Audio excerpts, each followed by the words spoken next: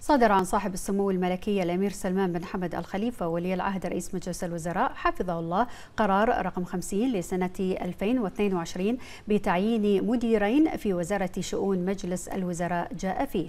المادة الأولى تعين السيدة مضاوي محمد عبد الرحمن قراطة مديرا لإدارة التنسيق والمتابعة في وزارة شؤون مجلس الوزراء. المادة الثانية. يعين السيد فضل جمعة عبد الله الفزاري مديرا لإدارة أمانة سر الجلسات في الأمانة العامة لمجلس الوزراء بوزارة شؤون مجلس الوزراء.